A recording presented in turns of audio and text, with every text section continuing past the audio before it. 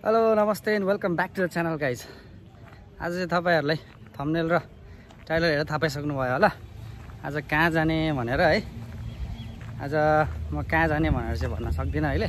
उहाँसँग डेस्टिनेसनतिर लागौँ है त। पक्कासँगले कहाँ जाने भन्ने कुरा चाहिँ थम्नेल टाइटलमा देखिहाल्नु भएको छ है? फर्स्ट टाइम जाँदै हो। हेलो वेलकम वेलकम चोकबाट पश्चिम लाग्यो। हिँडरी भाटबाट नि आइपुग्यो हामीहरू चाहिँ है।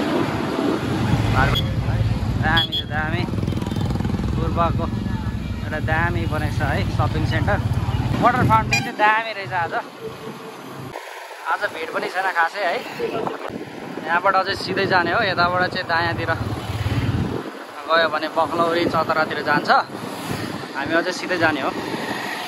झुम्का बजार आइपुग्यो हामीले चाहिँ है। झुम्का बजार टक्क। जे होस् राम्रो छ यो पनि। अहिले धन्न घरहरू बन्दैछ। झुम्का बजार। झुम्का बजारको नहर कटिसकेपछि हामी दायाँ जान्छौँ यहाँबाट है। दायाँ टक्कसँगले रामधनी बडा क्षेत्र प्रवेशद्वार भनेको छ। आज चाहिँ हामी टक्कै यो रामधनीको यात्रामा छौँ है। हेर्न सक्नुहुन्छ राम प्रवेशद्वार है। यहाँबाट सट्ट अगाडि लाग्यो। बाइक पनि कसरी कुदाउँछ स्कुटीहरू पनि। रामधुनी मन्दिर जानलाई चाहिँ हामी अगाडि निक्लिँदैछौँ है। सहर खोटेर ढुङ्गाबाट। दायाँ लागेपछि यो बाटो चाहिँ हामी चत्रा सकलभट्टी पनि जान सक्छौँ। आजको राइडमा नि सुभाष सरै हुनुहुन्छ है अगाडि राइडमा। हामी यसो टुरतिर लागेछौँ फ्राइडे मनाउँदा यसो छुट्टी पनि भएको कारणले गर्दा। रक्षाबन्धन। सबैलाई रक्षाबन्धनको उपलक्ष्यमा हामी यो रामधुनी मन्दिरतिर हामी सबैलाई राखी बाँध्न जाँदैछौँ जस्तो लाग्दैछ है। ह्याप्पी रक्षाबन्धन भन्छ सबैलाई। सबैजनालाई। सबैजनालाई। आवाज अहिले बाटो खत्तम छ है। बाटो चाहिँ अब यस्तो रहेछ है। पहिलोपल्ट जाँदैछु म पनि। अहिलेसम्म गएको छैन। यहीँ नजिकै भए पनि सायदै टाइम मिल्दैन यसरी हिँडिरहनुलाई। हेरौँ अब। यहाँ हाम्रो अगाडि चाहिँ थोरै अगाडि झुम्का कारागार छकेर होइन? झुम्कामा चाहिँ यति धेरै मानिसहरू भेट्नलाई आउनु हुँदो रहेछ। टक्कबाट यहाँबाट हामी अब बायाँतिर जान्छौँ यो गुटीतिर गेटतिर है। यहाँबाट चाहिँ रामधनी मन्दिर पुगिन्छ भन्ने जानकारी आएको छ।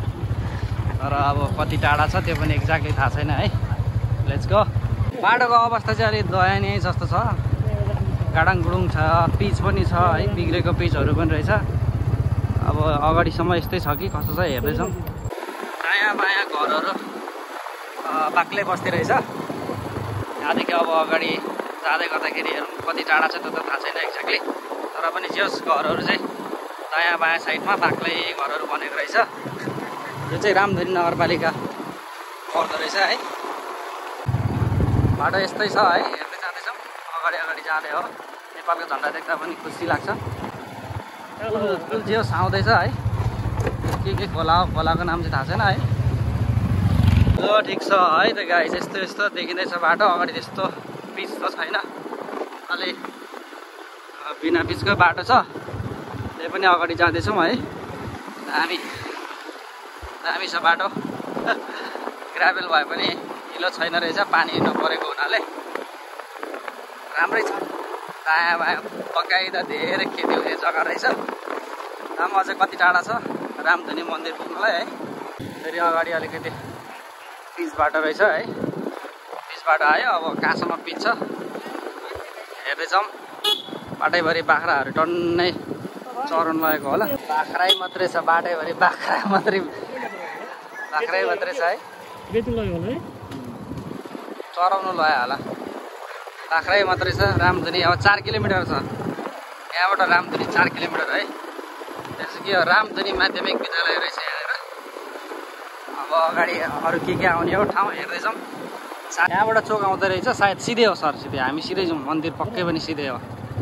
हन्ड्रेड पर्सेन्ट सिधै हो सिधै हो सिधै हो सिधै हिँड्नु न हिँड्नु डाउटै छैन मन्दिर सिधै हो मलाई लाग्छ यतै सिधै हो त्यो चोकको नाम चाहिँ थाहा भएन तर पनि मन्दिर पक्कै यतै नै हो हामी जाने है राम्रो रहेछ जङ्गलै जङ्गल छ है असम रहेछ जङ्गल यहाँ पनि मन्दिरको लागि अगाडि बढ्दैछौँ हामी है मन्दिरको लागि अगाडि गरेर जाँदैछौँ अलिक अलिक टाढै छ लगभग अझै दुई किलोमिटर छ यहाँ पनि बुद्ध चोक रहेछ मूर्ति देख्दा चाहिँ दामी लाग्छ। अझै जङ्गलै जङ्गल छ है तल्लो साइडतिर चाहिँ माथिल्लो साइडमा चाहिँ खेती रहेछ घरहरू थोरै छ बसोबास गर्ने ठाउँ हो है। त्यतिको नराम्रो भन्न मिल्दैन बाटो। खेतीयोग्य जमिन सबैतिर छ है। यो अगाडि चाहिँ अब कतातिर जाने हो सोध्ने बेला भयो है यहाँ चाहिँ। त्यहाँबाट दायाँ हो कि बायाँ हो? त्यहाँ केही छ डिरेक्सन छ केही भाइ मन्दिर जाने बाटो कता हो। यता हो। लेफ्टतिर। गो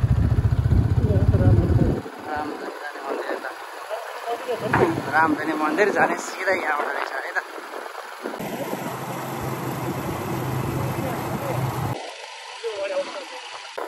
यो यो चाहिँ राम्रो दामी जङ्गल रहेछ है। बाटो पनि त्यस्तै असम छ। असम छ दामी छ है। भ्लगिङ चाहिँ मेरो अब प्यासनै भइसकिसक्यो है अब भ्लगिङ बिना चाहिँ बाँच्नु सकिँदैन है सुभाष सर। दामी छ दामी। सोलिड छ। बाटो पनि राम्रो रहेछ। जङ्गल पनि असम छ।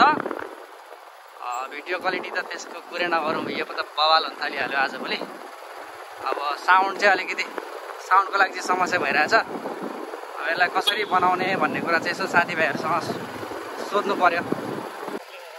सायदै मन्दिर एरिया होला है यो चाहिँ पक्कै नै अब त आउला आउला जस्तो लागिसक्यो नि त मलाई। चाहिँ हन्ड्रेड पर्सेन्ट मन्दिर हो। अब चाहिँ रामधुनी मन्दिर गेटभित्र छिरौँ न हामी है। यही चाहिँ हो रामधुनी मन्दिर गेट। टक्कसँगले है छिरौँ के रहेछ भन्ने कुरा त थाहा भइहाल्छ यहाँ छिरिसकेपछि। सुभाष सर आज तपाईँको फर्स्ट टाइम नि? फर्स्ट टाइम भन्नु न अब उज्यालोमा चाहिँ। उज्यालोमा अँधारोमा चाहिँ आउनु भएको थियो एकखेप आएको थिएँ। हाम्रो बानिया सरसँग होइन? ल ठिक छ आज म मेरो चाहिँ जिन्दगीमा पहिलोपल्ट है रामधुनी मन्दिर। के रहेछ रामधुनी मन्दिरमा चाहिँ हेर्दै जाउँ है। अब हामी अगाडि जाँदैछौँ है। देख्न सक्नुहुन्छ यी मन्दिर एरिया है यस्तो छ। पर यस्तो छ मेला लाग्छ होला सायद यहाँ। कहिले पो मेला लाग्छ? राम रामनवमी लाग्छ होला है? ठिक छ। यहाँ चाहिँ पोखरी। पोखरी रहेछ है। टक्क देख्न सक्नुहुन्छ टक्क पोखरी छ एउटा है। मन्दिर चाहिँ बन्द रहेछ है आज चाहिँ। टक्क यहाँ।